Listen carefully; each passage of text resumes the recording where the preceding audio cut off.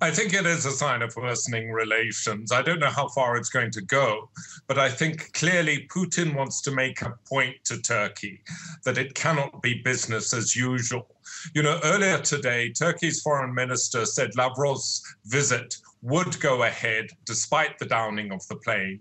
And I was telling France 24's viewers that this showed that both sides wanted to contain this incident uh, because the political and commercial ties between them were so strong.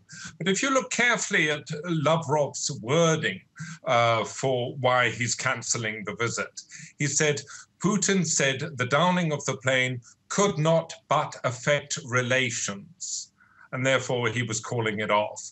One ugly incident has just emerged. Uh, and this does put an edge on the downing of the plane, and that is that Turkmen militia in Syria fired on the two Russian pilots as they were parachuting to the ground. We've seen a, a video of the militia doing this, and uh, the Turkmen militia commander Alparslan Çelik has just issued a statement saying, We shot the pilots while they were landing.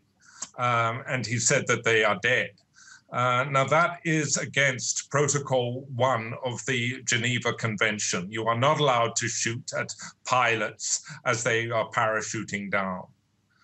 Now, what kind of mission was this plane, uh, this Russian plane on? Was it a anti-Islamic State group mission? No, the Russian Air Force has been supporting Syrian government ground forces advancing into rebel held territory in northwestern Syria. And uh, many of the civilians there are Turkmen, ethnic Turks, but with Syrian uh, nationality.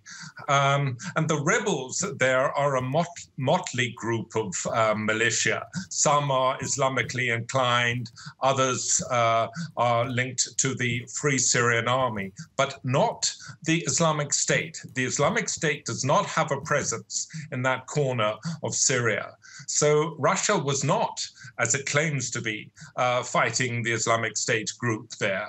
It was propping up Syrian President Bashar Assad. Thank you very much, uh, Jasper. Jasper Mortimer in Ankara.